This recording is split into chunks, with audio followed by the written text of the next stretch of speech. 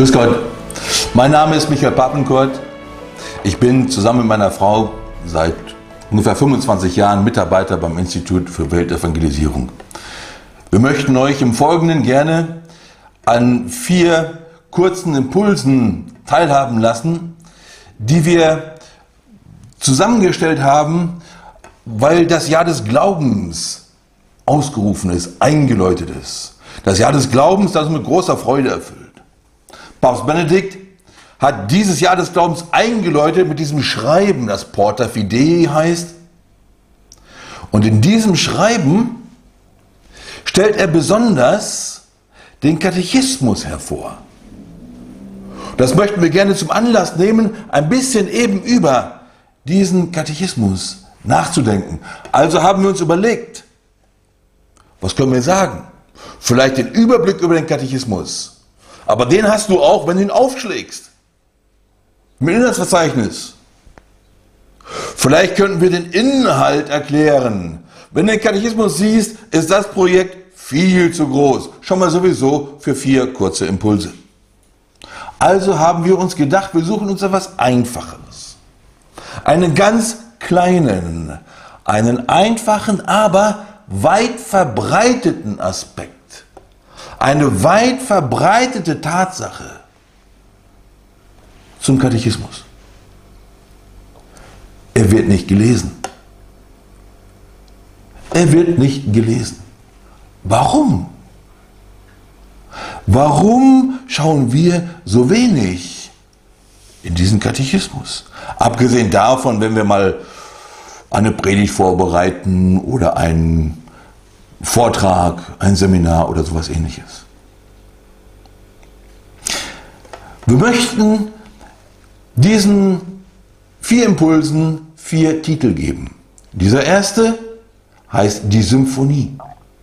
Der zweite heißt die Tür. Der dritte der kleine Junge.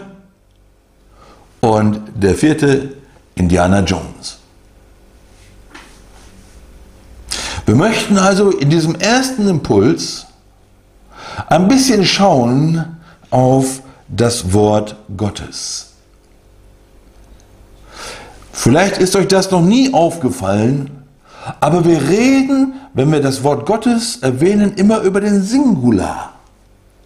Das Wort Gottes. Wenn du in der Kirche bist und wenn du die Lesung vorgetragen hast, dann stehst du da und sagst Wort des lebendigen Gottes. Keiner steht da und sagt Worte des lebendigen Gottes, obwohl du eigentlich viele vorgelesen hast. Und dabei darauf geachtet hast, dass du dich nicht versprichst. Vor nicht allzu langer Zeit sind die Nachfolger der Apostel zusammengekommen um neu zu reflektieren über das Wort Gottes im Leben der Kirche. Diese Nachfolger der Apostel, unsere Bischöfe, haben also lange Wochen gebetet, reflektiert, sich ausgetauscht über dieses Wort. Und wenn die Jungs so eine mega Aufgabe übernehmen, dann schreibt einer nachher zusammen, was dabei rausgekommen ist. Natürlich ist das dann Papst Benedikt gewesen. Er schreibt dann dieses nachsynodale Schreiben, eben das Schreiben, das die Synode zusammenfasst. Synode, wo die Jungs zusammenkommen und sich austauschen. Dieses Schreiben heißt dann Verbum Domini, das Wort Gottes. Und in diesem Verbum Domini ist ein fantastisches fantastisches Schreiben. Da stehen ein paar Worte, ein paar Gedanken dazu, was das Wort Gottes ist. Und ein paar davon möchte ich gerne vortragen. Hier, ich zitiere jetzt aus dem, das ist natürlich durchnummeriert, dieses Dokument, sind wir in Artikel 7. Zu Recht war die Rede von einer Symphonie des Wortes Symphonie des Wortes. Ich hatte das so vorher nirgends gehört oder gelesen. von einer Symphonie des Wortes, eines einzigen Wortes, das sich auf verschiedene Weisen ausdrückt, als mehrstimmiger Gesang. Das Bild erklärt sich ganz von alleine. Eine Symphonie des Wortes, eben des einzigen Wortes. Es gibt eben genau ein Wort Gottes. Aber es ist ein ganzes Symphonieorchester. So viele Instrumente, die zusammenspielen. Und dieser Zusammenklang von diesen vielen Instrumenten, das ist das eine Wort Gottes.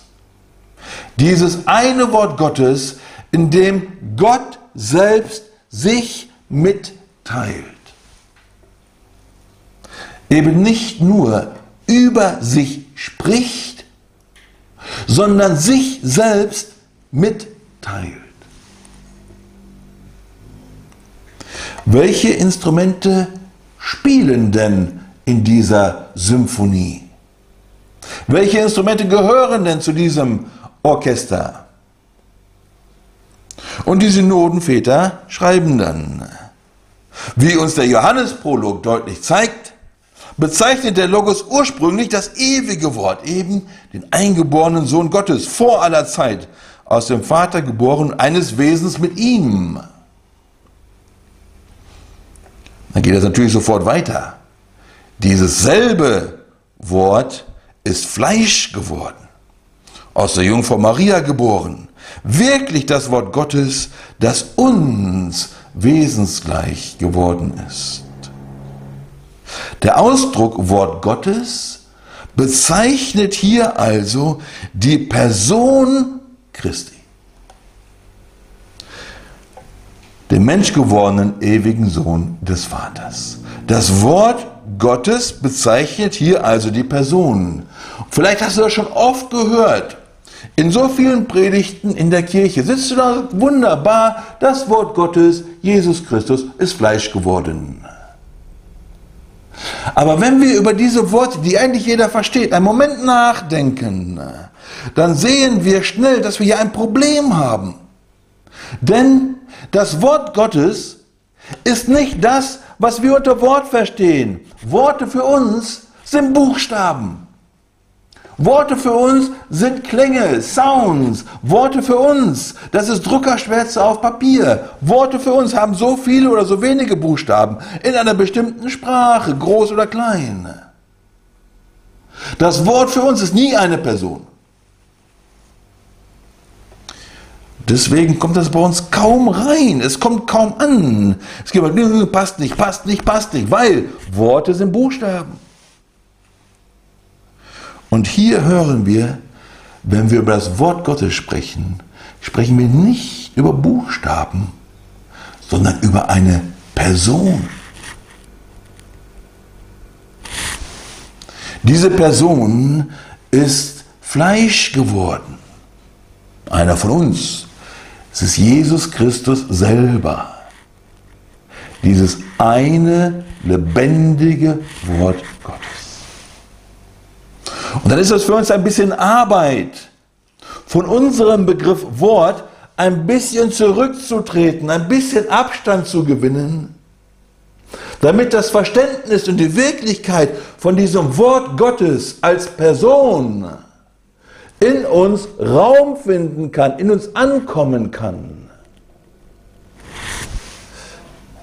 Das ist einer von diesen Punkten, wo wir einfach uns Zeit nehmen müssen, Gott die Möglichkeit geben, das in uns einzubauen, Wirklichkeit werden zu lassen.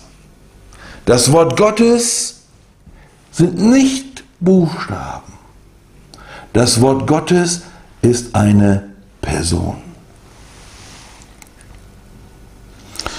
Dann geht es gleich weiter in der Erklärung dieser Symphonie wenn im Mittelpunkt der göttlichen Offenbarung das Christusereignis steht, dann muss man ebenfalls erkennen, dass die Schöpfung selbst ein wesentlicher Teil dieser mehrstimmigen Symphonie ist. Dass die Schöpfung selbst ein wesentlicher Teil dieser mehrstimmigen Symphonie ist. Wesentlich ist eins von meinen Lieblingsworten. Es gehört zum Wesen. Es ist nicht etwas Zusätzliches. Es ist nicht etwas, das dabei sein kann oder eben auch nicht. Es gehört wesentlich dazu.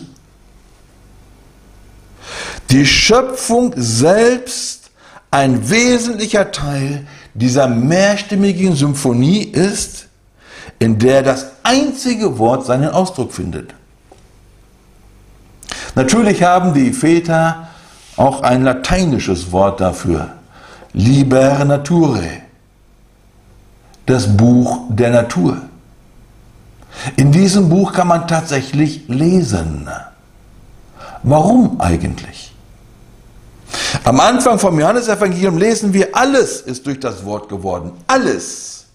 Und du kannst das studieren und studieren und studieren. Du wirst am Ende deines Studiums rausfinden, das Wort alles meint genau das, was es sagt. Alles ist durch das Wort geworden. Das, was sichtbar ist, das, was unsichtbar ist. Das heißt, in dem, was geworden ist, in der Schöpfung, drückt sich der Schöpfer aus. So wie du in einem Kunstwerk den Künstler erkennst. Es ist eben seins. Nun bin ich kein Kunstexperte, aber wenn ich ein Van Gogh-Bild anschaue und einen Rembrandt daneben hänge, dann sehe ich einen großen Unterschied. Und die Kunstwerke reden über den Künstler. Und so drückt sich der Schöpfer in der Schöpfung aus. Ich erkenne etwas von ihm in der Schöpfung. Er teilt sich in seiner Schöpfung mit. Es gehört eben zum Wort Gottes, welches kein Buchstabe ist. Diese Schöpfung ist dann ganz nebenbei auch der Ort, den Gott bestimmt hat, den Gott geschaffen hat, als eben den Ort, wo wir ihm begegnen. Diesen Ort hat er für uns geschaffen. Das ist der Ort, den er für unser Rendezvous geschaffen hat. Es geht dann gleich weiter. Ebenso bekennen wir, dass Gott sein Wort in der Heilsgeschichte mitgeteilt hat. Das ist ja wunderbar. Klar, natürlich. Die Heilsgeschichte, Genesis und dann kommen die verschiedenen anderen Bücher in der Heiligen Schrift und dann ist die Heilige Schrift irgendwann mal zu Ende. Die Heilige Schrift, ja. Die Heilsgeschichte, nein. Die Heilsgeschichte geht weiter. Die Heilsgeschichte ist immer noch unterwegs. Sie ist so lange unterwegs, bis sie schlussendlich an diesem großen Omega-Punkt angekommen ist, wo die Zeit sich erfüllt. Da, wo Christus erscheint in seiner ganzen Herrlichkeit für alle sichtbar. Bis wir aber an diesem großen Omega-Punkt, den wir alle herbeisehnen, bis wir an diesem großen Omega-Punkt angekommen sind, sind wir in der Heilsgeschichte unterwegs. Das heißt, wir sind Teil der Heilsgeschichte.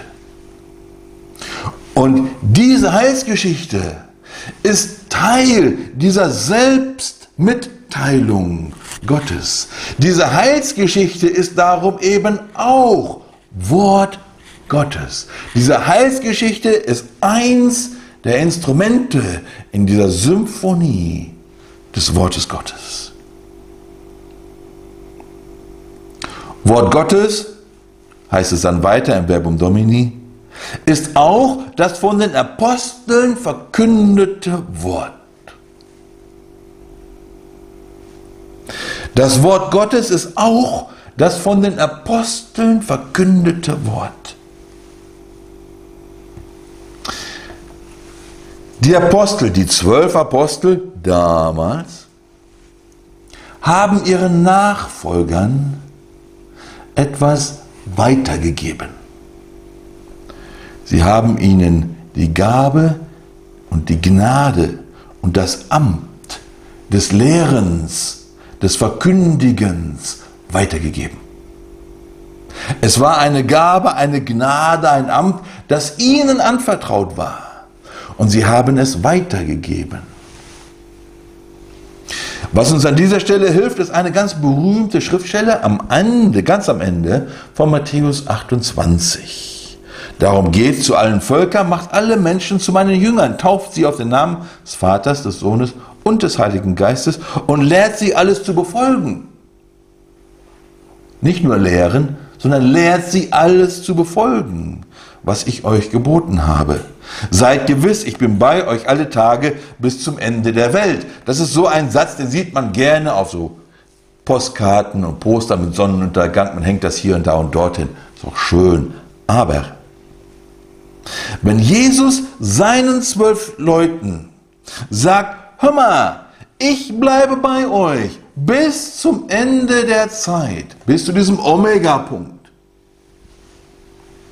dann heißt das nicht nur, habt keine Angst, sondern hier weiß Jesus auch natürlich, dass die Verkündigung weit über die Generation dieser zwölf Apostel, mit denen er gerade spricht, hinausgeht.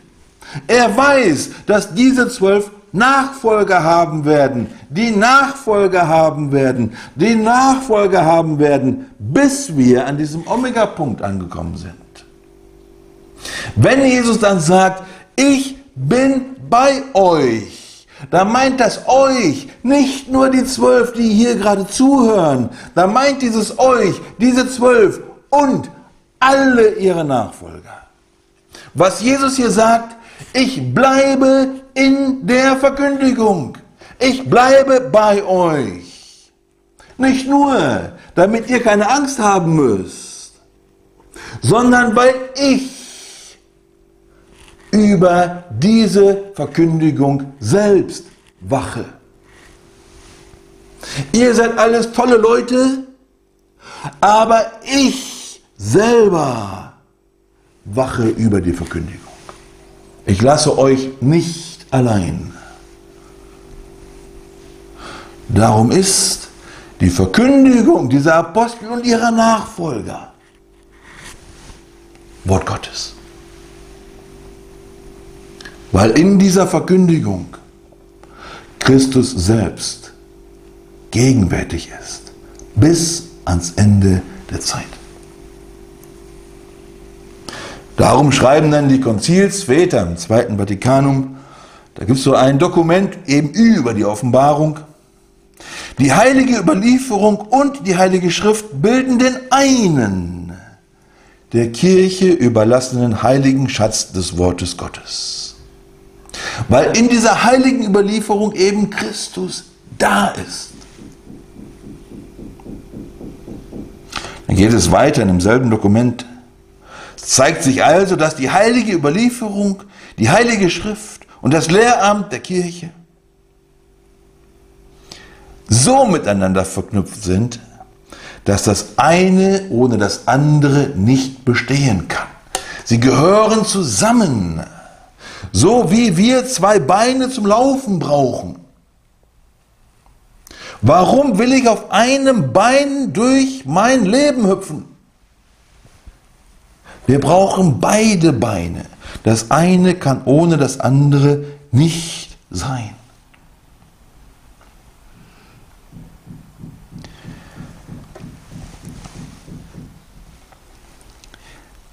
Schließlich geht es dann weiter in Verbum Domini, ist das bezeugte und göttlich inspirierte Wort Gottes die Heilige Schrift, das Alte und das Neue Testament.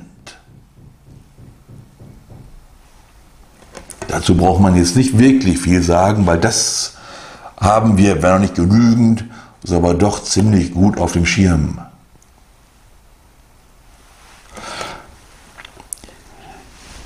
Die Väter, die Synodenväter schreiben dann aber weiter. All das, ne, diese ganze Symphonie, die wir gerade jetzt besprochen haben, all das macht deutlich, warum wir in der, Heilige, in der Kirche die Heilige Schrift hoch verehren. Obgleich der christliche Glaube keine Buchreligion ist. Moment. Unsere Kirche hat viele Bücher. Die Heilige Schrift zum Beispiel ist doch ein Buch. Und auch der Katechismus ist doch ein Buch. Und jetzt sagen Sie hier, dass wir aber keine Buchreligion sind. Sie sagen dann weiter, das Christentum ist die Religion des Wortes Gottes, nicht eines schriftlichen, stummen Wortes, sondern des menschgewordenen, lebendigen Wortes. Wir sind keine Buchreligion. Ein Buch ist immer ein stummes Wort. Wir sind nicht die Religion eines Buches. Wir sind die Religion des Wortes Gottes, des lebendigen, menschgewordenen Wortes Gottes. Daher muss die Schrift als Wort Gottes verkündigt, gehört, gelesen, aufgenommen und gelebt werden, und zwar in der Spur der apostolischen Überlieferung. Apostolische Überlieferung, die Apostel geben den Nachfolgern, den Nachfolgern, den Nachfolgern und in dem Ganzen ist Christus der stabilisierende, der eine, der über alles wachende Faktor. Wir verkünden dann das Wort Gottes in der Spur der apostolischen Überlieferung, mit der es untrennbar verknüpft ist. Es ist nicht zweierlei, schon mal gar nicht gegenläufig. Und dann sagen die Synodenväter, dass die Gläubigen, das sind du und ich, näher herangeführt werden sollen, müssen, dass wir diese verschiedenen Bedeutungen und Elemente des Wortes Gottes erkennen und diesen einheitlichen Sinn verstehen, weil es eben genau um ein Wort Gottes geht. Dieses eine lebendige Wort Gottes. Das Wort Gottes, ist das für dich eher eine Symphonie oder eher ein Soloinstrument? Welche von diesen, welches von diesen Instrumenten hörst du ganz wenig oder kaum? Welches Instrument möchtest du deutlicher hören? Am Ende dieses Impulses möchten wir dich gerne lassen in der Gegenwart Gottes in der Gegenwart dieses lebendigen Wortes, das dein Herz erreichen und gestalten möchte. Dass du vielleicht in der Gnade Gottes immer mehr von diesem lebendigen Wort findest und aufnimmst. Dass du diesem lebendigen Wort immer mehr immer tiefer begegnen kannst. Wir wünschen dir dazu alle Gnade und allen Segen des Himmels. Dankeschön.